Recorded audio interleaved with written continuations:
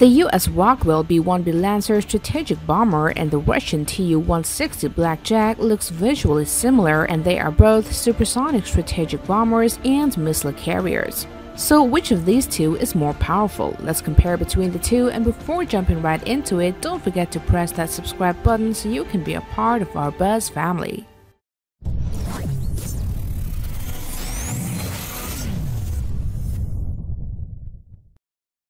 The Rockwell B-1 Lancer, commonly called the Bone, is a supersonic variable sweep wing heavy bomber used by the United States Air Force.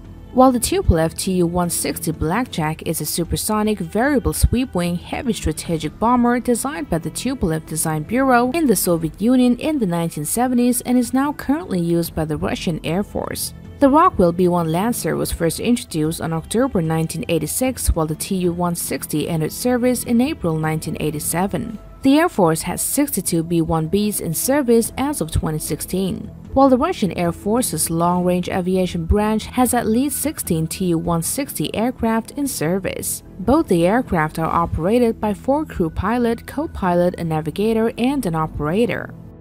Firstly, let's look into the unit cost. As of 2019, the B1B's unit cost is 423 million US dollars, whereas the Tu-160 Blackjack is less expensive compared to the Lancer having a unit cost of only 70 million US dollars. As of 2020, the Tu-160 is the largest and heaviest combat aircraft in use and the largest and heaviest variable sweep wing airplane ever flown measuring a length of over 54 meters while the B-1 measures only 45 meters.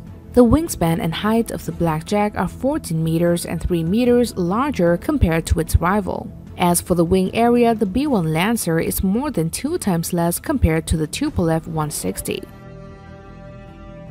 There is no doubt that the empty weight of the Lancer is less than the Blackjack measuring only 87,090 kilograms and again the Lancer has a less gross weight and its maximum takeoff weight measures only 216,364 kilograms while the Blackjack measures 275,000 kilograms. The B-1A's engine was modified slightly to produce the General Electric F101GE102 with four engines for the B-1B with an emphasis on durability and increased efficiency, producing 123,120 pounds of thrust combined while the Tu-160 is powered by four Kuznetsov NK32 afterburning turbofan engines, each of which produce a maximum thrust of 220,000 pounds combined. This is one of the most powerful engines ever fitted to a combat aircraft.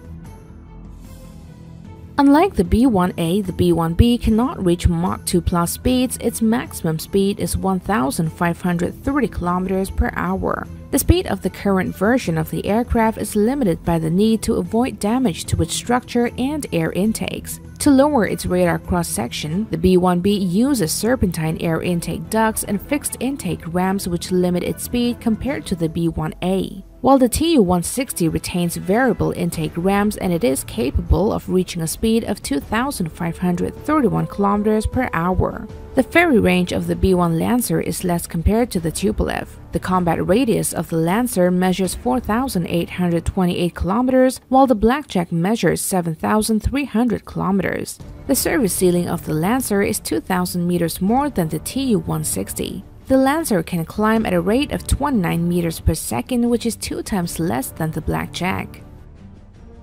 The B-1B is no longer armed with nuclear weapons, but it is capable of carrying the AGM-86B air-launched cruise missile and the AGM-69 short-range attack missile. In August 2019, the Air Force unveiled a modification to the B-1B to allow it to carry more weapons internally and externally.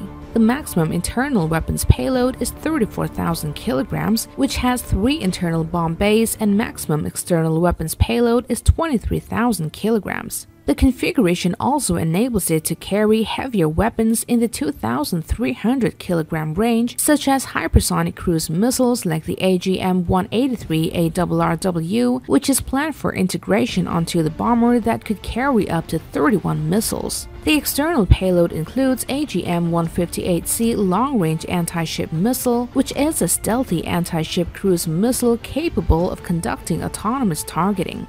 AGM-154 Joint Standoff Weapon which is a fire-and-forget weapon that employs a tightly coupled GPS-INS for navigation, AGM-158 Joint Air-to-Surface Standoff Missile with a long-range precision standoff cruise missile with digital jam-resistant global positioning system. Apart from all this, it could also carry various types of bombs like joint direct attack munition, cluster munitions, naval mines, and general-purpose bombs. As for the Blackjack, weapons are carried in two internal bays, each capable of holding 20,000 kilograms of freefall weapons or a rotary launcher for nuclear missiles. Additional missiles may also be carried externally. The Tu-160's primary armament has always been long-range cruise missiles like the KH-55MS.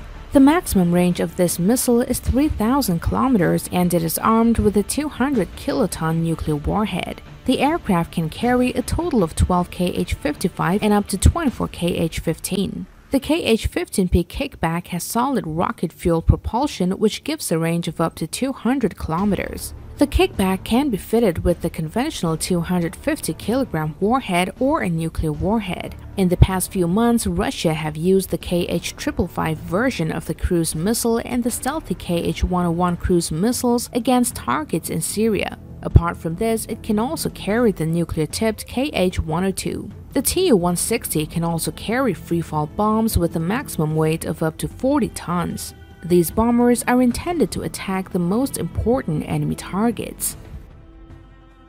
The Lancer's offensive avionics include the AN/APQ-164 forward-looking offensive passive electronically scanned array radar set with electronic beam steering which provides high-resolution terrain mapping, velocity data, terrain avoidance, terrain following, position data, weather detection, and calibration modes. The B-1's defense electronics include the Eaton AN/ALQ-161A radar, warning and defense jamming equipment while the Tu-160 carries a TSNPO Leninets Obzor K radar for tracking ground and air targets and a separate Sopka terrain following radar. The aircraft is highly computerized and the avionics systems include an integrated aiming, navigation, and flight control system with a navigation and attack radar and electronic countermeasure systems and automatic controls.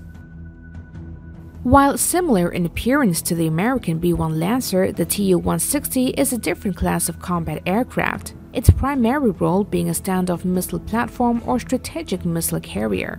The Tu-160 is also larger and faster than the B-1B and has a slightly greater combat range, though B-1B has a larger combined payload. Another significant difference is that the color scheme on the B-1B Lancer is usually subdued dark gray to reduce visibility. The Tu-160 is painted with anti-flash white, giving it the nickname among Russian airmen White Swan. So in fact it is not a question if the B-1B or Tu-160 is better, because actually different planes have different roles and missions.